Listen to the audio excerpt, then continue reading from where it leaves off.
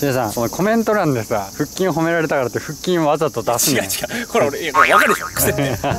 これ分かるでしょ。はいさんが一番分かるでしょ。癖だから。お前でもほんとあれだな。洗濯板みたいになっとるやなこうなりたかったらあの周平がいつも飲んでるマイプロテインを概要欄から。間違いない。それはね間違いない。ガチこれは。僕も始めました。始めた？はい。いや僕初めて一番変わったのは腹筋じゃなくて足ですね。すごいよね。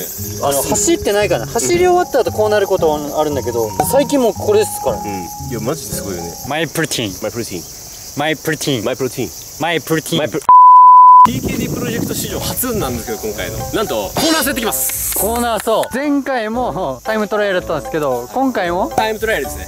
めっちゃ頑張るじゃん今日。コーナー走僕100ちゃんとやったことないなって2週間前一人で練習してて思ったんですけどなるほど。どんぐらい出るんだろうと思って。高校とか大学の時も測ったことなくてあれ？ーって思って一人でタッチダウンで測ってみたんですよ。うん。合計2本やりました。はいはいはい。結果11秒4と11秒2えー、タッチダウンでそれ結構ひどいね。結構ショックで笑っちゃったのゴールした後。そもそもの走力がなかったのか。俺のコーナー走が下手くそなのか分からんのよ。前回の動画で 100m のタイムトライアルでトライアルやってます。タッチダウンなんですけれども、10秒6直線でねはい。まあ向かい風なんですけれども、はい。10秒6という結果がいい指標になってると思うのでそうだね。それとオーナー層の100のタイムトライアルどんぐらい変わっていくのかどんぐらい周平が下手くそなのか上手なのかっていうのが下手くそって今あすいません。まだあの決まってないかあら決まってない、うん。これから決まるの？これから分かるんで。これから分かるんだよね。はい。400m ハードルで50秒で走ったとするじゃないですか。そしたら 400m 最低でも47秒ぐらい出るよね。3秒ぐらい変わるわけですよ。でも100直線とコーナーだったら絶対直線の方が速いわけじゃないですか。それ間違いないですよ。間違いない。コーナーになった時にどんぐらいの落ち幅がコーナー走うまいと言われてるのが僕は分かんない。ああなるほどね。だけどだけどもだけど。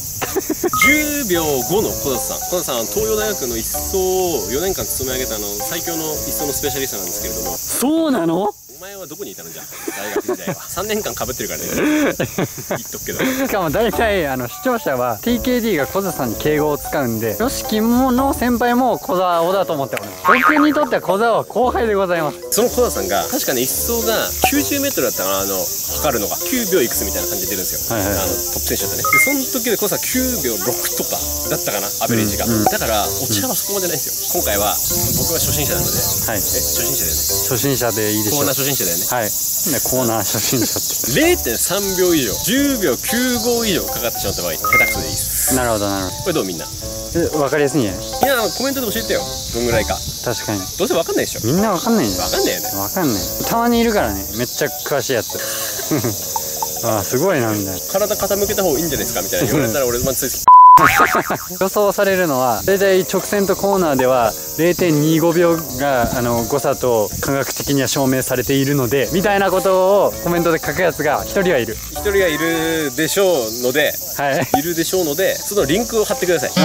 そうだね。どこの参考にしたのかだけ教えてください。なるほどなるほど。あなたのただの経験則だったら、はい。僕許します大西さんとか草野さんの経験だったら分かるんで、はい。どこの顔も知らないコーナー層は多分奥が深いの。今回は TKD プロジェクト基準として誤差0.3秒以上以内であればまあまあまあ。クリア。以上であれば TKD はコーナー走が下手くそ。下手くそ。一生一走と三走走らないでしょうが決定します。困るな。どんぐらいの誤差があるのが気になります。そうだね早速お願いします。お願いします。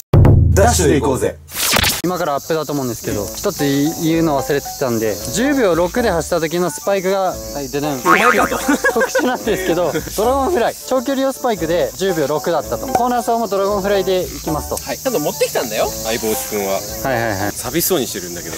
あれ今日俺の出番なし。でいいんだえゆうさん今日棚から僕出したじゃないですか。ね。かわいそう。そう言ってる周平が可愛い一発で決めるぜ。うまいって言われたいみんなに。コーナーもうまいんですねみたいな。はい。言われたい。オッケー。さあコーナー走完璧。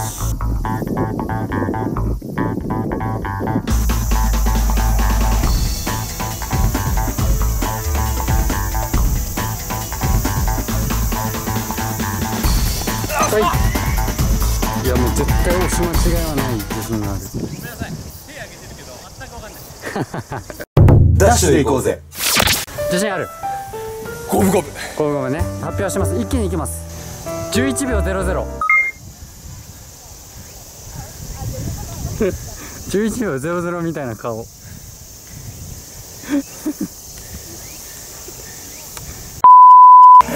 下手じゃん1900っすね。やっぱ下手なんだね。うるせえ。お前やってみろ今度じゃあ。逆にね。えでもドラゴンフライのレビューシーン。あはいはい。今結構がっつり入ってきたんだけど。がっつり入るとうん。やっぱあの厚さがあるんではいはいはい。した時にちょっとこのブレがはいはいはいあるんでソニックスプリントでやった時よりはい。走りづらかった、なるほど。どこまでこのズレが影響してるかわかんないけどちょっと感じたね。こんだけ落ちるのねコーナーと直線では。どんぐらい落ちたか教えてよ。コーナー走についてはまあいろいろこれから聞いてって、はい。なんかもっと深掘りしてって、うん。こう走った方が走りやすいよとかこう走った方がもしかしたらプラスかもねとか多分体型によっても違うと思うし、身長ちっちゃい人だったらねピッチで走りやすいとか、か体大きい人でストライブの方が走りやすいかもしれないし。それはちょっと分かんないから。深掘りしていければ。いいはいはい。かなと思います。なるほど。じゃお疲れ様でした。お疲れ様でした、はい、また次回の動画でお会いしましょう。バイバイ。